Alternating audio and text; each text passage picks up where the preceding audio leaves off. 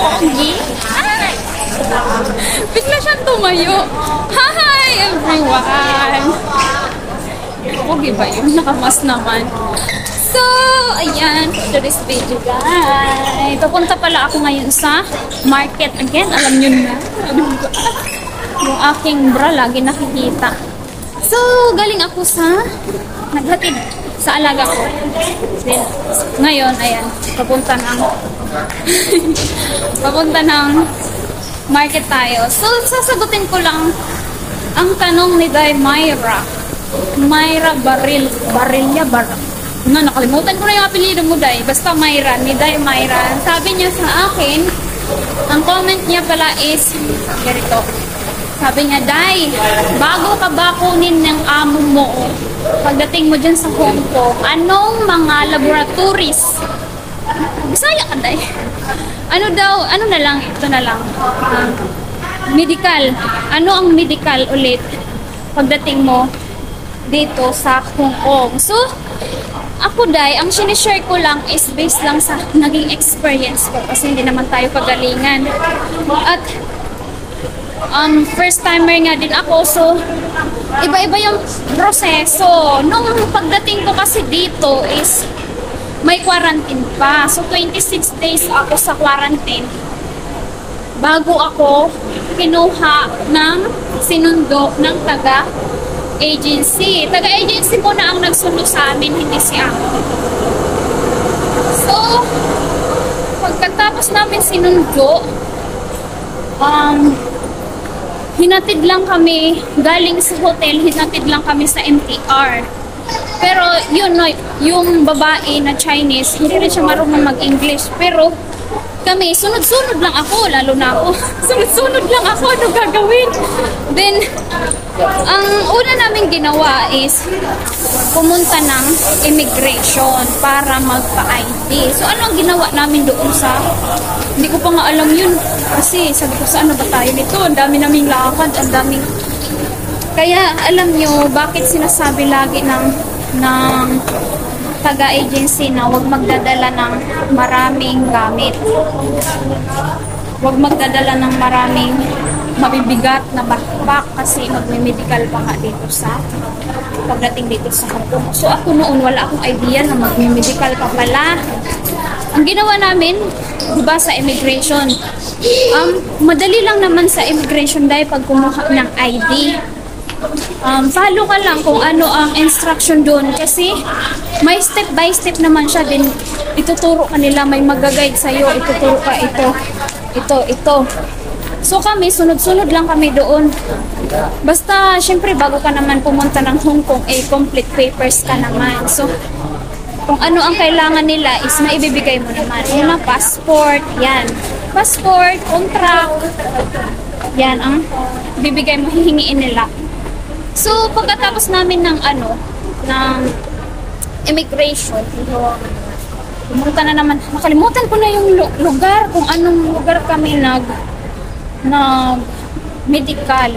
So, malayo na naman siya, malayo na namang NTR na pinuntahan namin. Yun nga, sabi nga nila, wag magdadala ng, ano, ng mabigat talaga na backpack. So, ang nangyari doon, Day, is, yun, pagdating doon, maagang maaga kami, pero pila pa din. Um, ang ginawa lang naman, Day, is una, kinuhaan kami ng dugo. Tapos, x-ray. Sabi naman, may nabasa akong post, ang maganda daw dito sa Hong Kong, kukunan, kukunan ka ng dugo, marami nang na-check. Sabi, pero hindi ko nakita yung papel ko, yung medical ko, ano yung mga chinek sa akin, kung ano yung mga, ano ba, mga test. Pero, ang ginawa lang namin noon, pagkatapos namin kunan ng dugo, then, in-x-ray na. Ayun lang ang ginawa namin. Then, yun. Nantay yung result. Then, balik, balik ulit. Doon na kami dinala sa agency. Pagka dating doon sa agency, anong oras na yun? Ay, pangga pa. Anong oras, anong oras na yung ano? yung pagdating namin doon, no? So mamaya na tayo, continue natin. Mag-market muna tayo, ha? So, ayan na nga. Tapos na tayo mag-market. So, alagi niyong tatandaan ay ito pala. Nawala na ako, nawala na ako sa ano ko, sa topic. So, bakit lagi tayong sinasabihan na huwag magdala ng mabigat? Ha, yung sakto lang, yung kailangan mo lang ang dalhin mo. Bakit, Day? Ito da noon, ah, hindi ko pa matanto kung bakit lagi nila pinagbabawal yun. So, nung napunta na ako dito, ayun nga, napakarami nga, Day, ng hirap, Day. Wala siyang ano, ay, nahulog ko yatay. Sige, vlog pa more. So, mahirap nga kasi meron akong nakitang post. Nakararating lang niya dito sa Hong Kong. Nagkaroon siya ng problema pagdating sa medical. Nagka-scarf. Scarf ba? Nagka-problema siya pagdating sa x-ray niya. So, ang nangyari, ano, wala na yung lola niya.